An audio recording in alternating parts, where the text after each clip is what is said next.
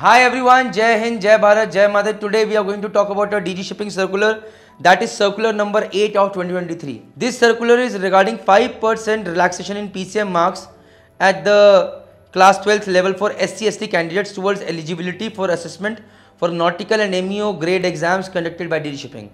So I'll explain this way. Ki DD shipping said that uh, all those people, those who have got less than 60% in uh, their class 12 exam in PCM, they will not be able to give their MEO class 4 exams or their uh, second mates exams in the country that is by DG shipping. DG shipping will not take their exams. So what will they have to do is they will have to go to UK or Singapore or New Zealand to get their tickets. We are not going to conduct the exams.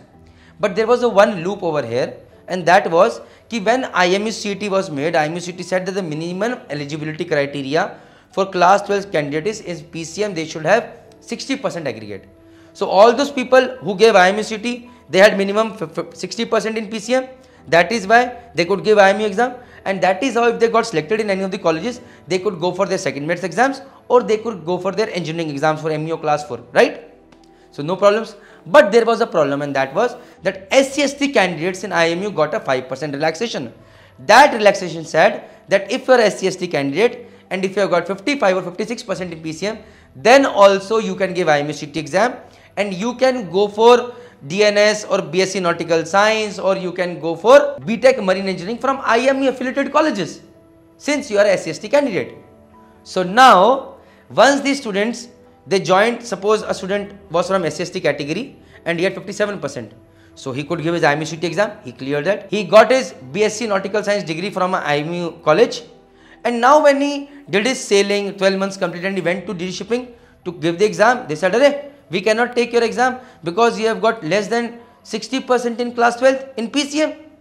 So he said, but IMU agreed on taking me. Why are you saying so? And that is where the problem for SCST candidates started happening.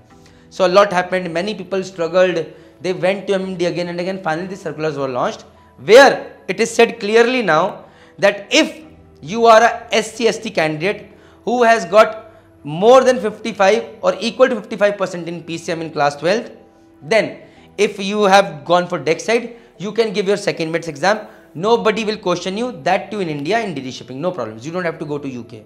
Second thing he said, if you are an engineer, say you have done BTech Marine Engineering from IMU Kolkata or IMU Chennai or any of the IMU campuses and you are a SCST candidate who had 57%, not 60% PCM, then in that case you will have to give MEO class 4 part A exam also along with MEO class 4 part B exam and you will also have to give MEO class 2 part A exam and also MEO class 2 part B exam.